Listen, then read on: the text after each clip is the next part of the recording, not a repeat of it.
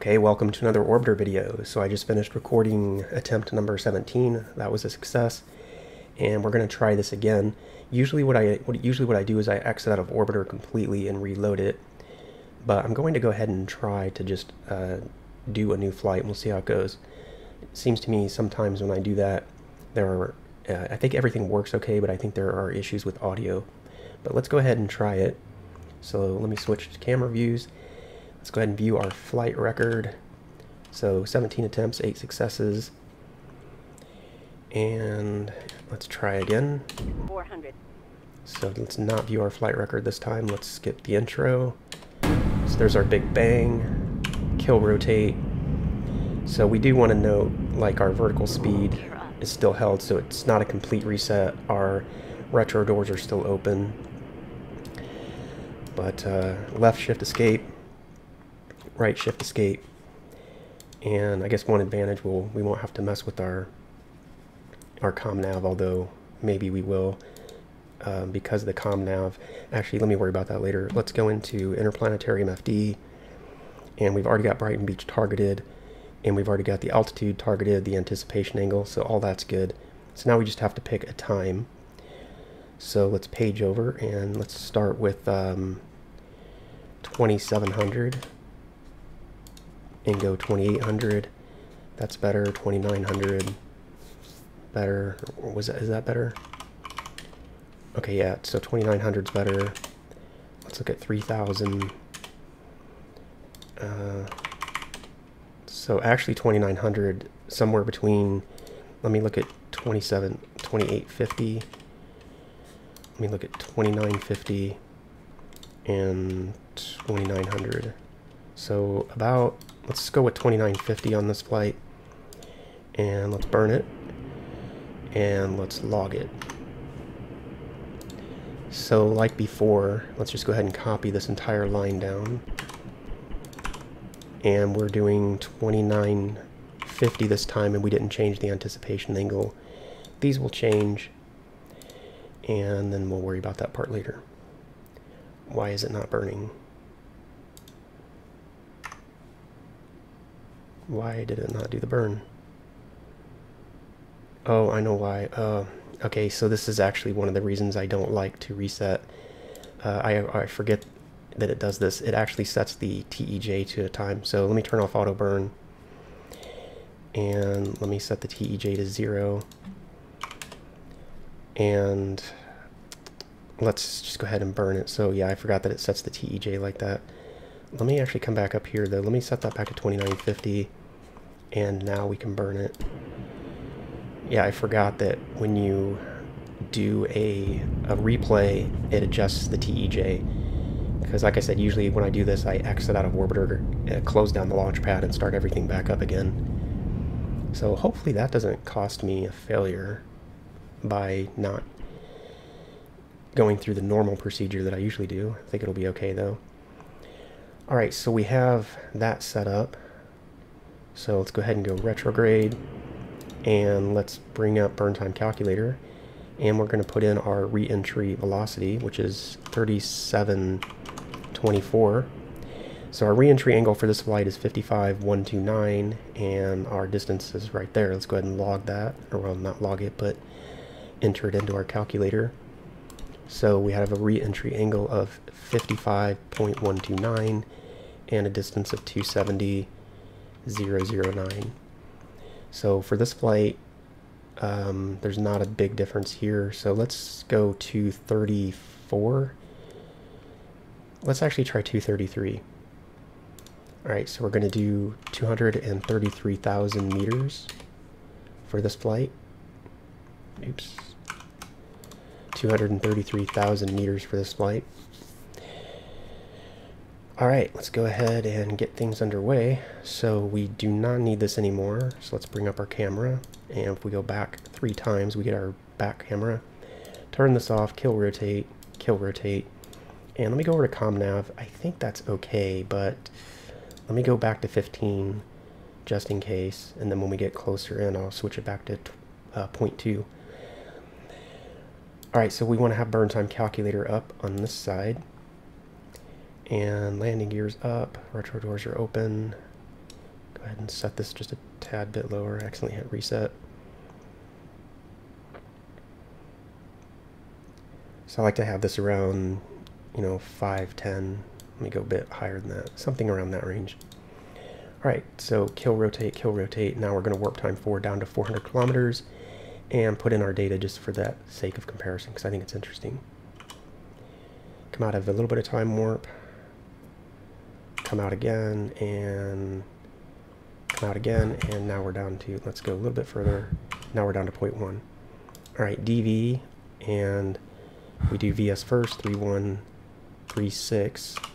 Give that a second to update. It's updated. Control P to pause, and we're going to put 192164 into our sheet. 192164, 192164. And now we're going to come back over here, unpause, and we're going to put in the DV for the ground speed, which is 3580. Enter. Give that a second to update. It's updated. Control P to pause. 249750. 24 249750. So again, not too far off in this case because the range is pretty low. At least I'm thinking that's the reason. So we're going to do the burn at 233 kilometers. Well, this says 225 if we okay so this wouldn't work because if we did the burn at 220 kilometers we would hit the ground for sure we would for sure hit the ground because this is the ideal burn under you know with, with perfect human reaction time perfect uh, engine ramp up and not taking into account the curve so in this case I'm actually going to say that's um, I'm gonna put it like a red because we would be dead if we did that one so even though the calculation isn't far off, it's it's below a point that would uh, be successful. So that's no good. So interesting. So even though the range is low, um, I guess because the velocities are higher, we have to go more in this direction. And 60% would be pushing it really close. In this particular flight, to 70% is the closest to that. So interesting. All right, let's go ahead and unpause. Let's go back to real time, go back to retrograde, and we're going to begin the burn at 233 kilometers. Okay, let's go ahead and warp time forward, get down to that point, and we're pretty close. Come out of time warp, and getting ready to do the burn. 233 kilometers. We don't want to be late, and I was late, but not terribly late. Alright, let's go ahead and warp time forward. Get down through this burn. Primarily I watch the vertical speed. And now I'm going to go back to real time. This feels a bit tight. Not a ton of time left, but I think we'll be okay. The fuel is looking good at the moment.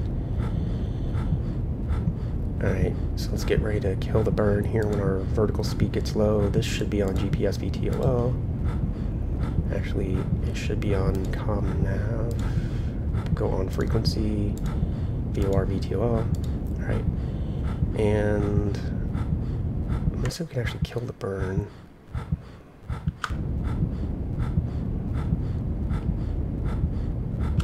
Kill the burn.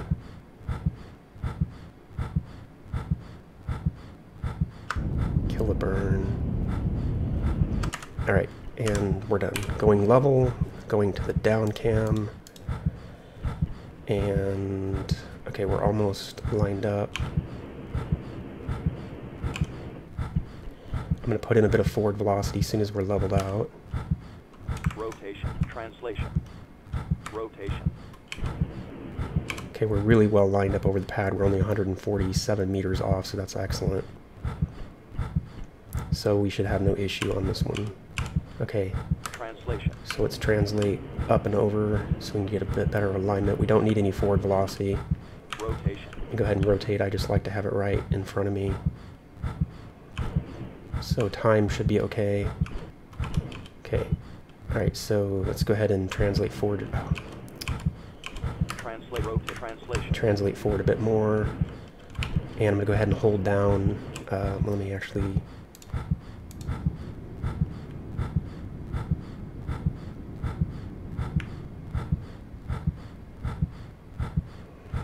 And I'm going to go ahead and hold down 2 just to use some of my RCS.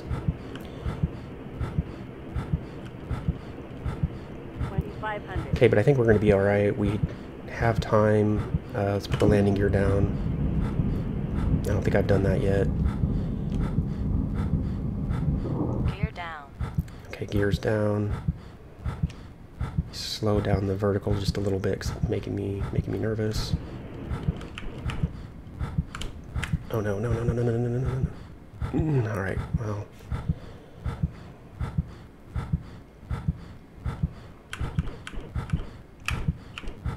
Okay, we're almost over the center of the pad. Let's go ahead and start taking out some of that forward translation.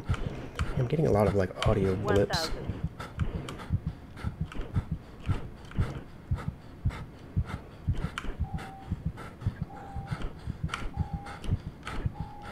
So calculation was good here. 500. Let's, let's hold. 400. All right. And let's go ahead and turn that off.